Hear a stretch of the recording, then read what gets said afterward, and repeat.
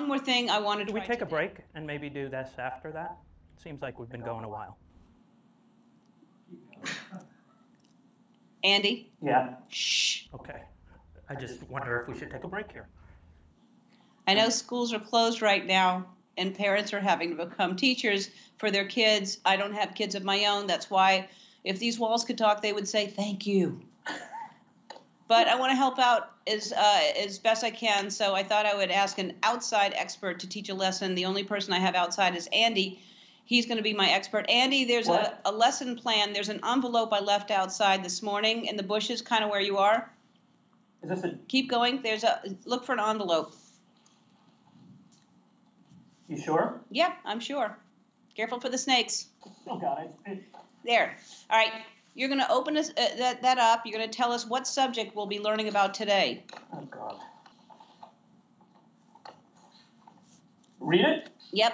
Today's lesson will be about biology, specifically the human body. All right. And what makes you an expert on the human body? It's not important. No, all right. Just just read. Just read. Yeah. The first part of the body I want to tell you about is the is the coccyx. Coccyx. The coccyx, coccyx is a tiny little bone. This little bone is located at the bottom of your spine, near two bursa. A bursa. A bursa is a is a fatty sac. Okay. Very educational. That's good for the kids to know. happening? Coccyx and uh, fatty sac. All right. What do you have next? Next, we have the uvula, Nope, which is nope. it's pronounced. It says it. Nope. Uvula. Uvula. U uvula. The uvula is a long. The uvula is a long. fleshy- Uvula. uh, the uvula is a long, fleshy organ that hangs down in the back of your mouth.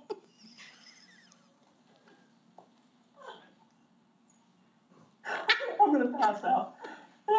Its name comes from the Latin word for grape, and some people say it looks like a tiny, a tiny hanging ball. This cannot make it into the show. The uvula contains glands. Uvula.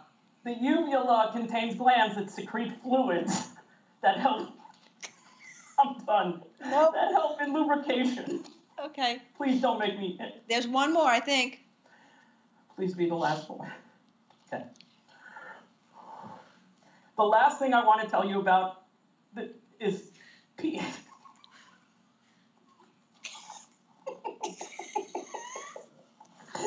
the last thing I want to tell you about is piloerection.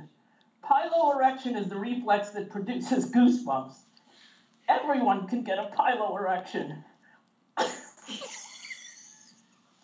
I can get a piloerection. Even you can get a piloerection, Ellie. Is that it? Oh, that's enough. Oh my god. All right. Thanks, Andy. Oh yeah, thank you. Tune in next time when I have Andy teach you about trees and all the different nuts.